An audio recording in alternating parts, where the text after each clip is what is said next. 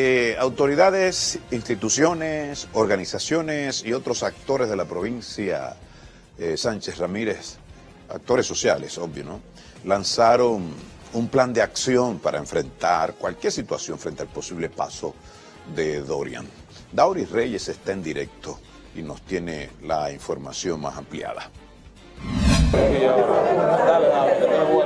Muchísimas gracias. Hace apenas unos minutos acaba de finalizar la primera convocatoria del Comité de Preparación, Mitigación y Respuesta de la provincia Sánchez Ramírez ante el paso de este fenómeno natural que se aproxima.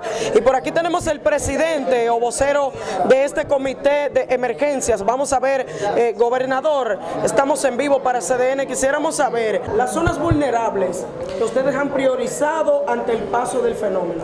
Eh, aquí hay algunas zonas sumamente eh, vulnerables en la provincia de Sánchez Ramírez, como es el sector La Piedra, que pertenece al distrito municipal de eh, La Vija, de igual forma Babarí, que pertenece a Platanal, y el canal, al igual que otras zonas que están por aquí en Cebicos. Esas son las que nosotros tenemos en primer orden, pero estamos preparados para ir en auxilio a cualquier situación que se presente sin importar el lugar. Sin embargo, ustedes saben que paralelo al acercamiento de este fenómeno natural, la República Dominicana vive una situación preocupante con relación a los vectores, la gran cantidad de vectores que arropan a las distintas localidades y precisamente para hablar de ese tema, quisiéramos saber por parte de eh, la Dirección Provincial de Salud Pública si ya tienen ustedes controlada la situación de la gran cantidad de mosquitos que afectan a la provincia y si están llevando a cabo algunas ejecutorias adicionales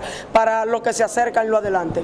Gracias, sí, realmente estamos trabajando diario y en toda hora lo que es la parte de prevención de lo que es los vectores, tenemos casos sospechosos, todavía no han llegado los casos confirmados, pero hasta ahora se ha manejado con el criterio necesario. Hemos llevado el protocolo de atención a los servicios nacionales de salud. Bueno, pues ustedes acaban de escuchar algunas de las precisiones de cara tanto a la situación que se presenta epidemiológica en el país y a propósito de que se acerca ya este fenómeno natural, la tormenta Dorian. Por el momento son los detalles, ahora retorno con ustedes al estudio.